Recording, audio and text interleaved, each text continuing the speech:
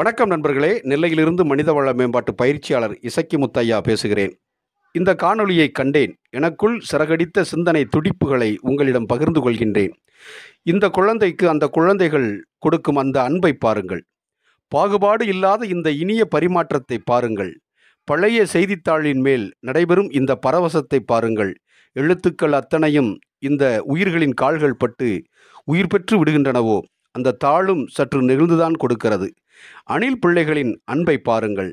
உற்சாகமாக அந்த குருவி குஞ்சுக்கு உணவு ஊட்டும் அந்த அற்புதத்தை பாருங்கள். சிலிர்ப்பாய் சிறகுகள் மெல்லியதாக அதிர எந்தவித நிபந்தனைகளும் இல்லாத அந்த அப்பழுக்கற்ற அன்பை பாருங்கள்.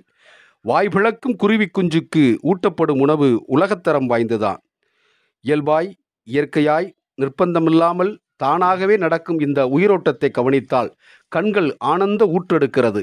இந்த பிள்ளைகளின் பாசம் மிகவும் பரந்தது. எல்லைகளே இல்லாதது.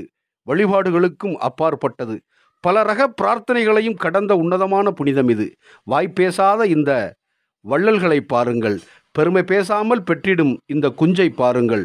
இந்த பிள்ளைகள் நிறைய இந்த மனித பிறவிகளுக்கு உணர்த்தியிருக்கிறார்கள். ஆம் அன்பு எங்கும் பாயும். அதற்கு எல்லைகள் கிடையாது. அதை கட்டுப்படுத்த எந்த சக்தியாலும் முடியாது.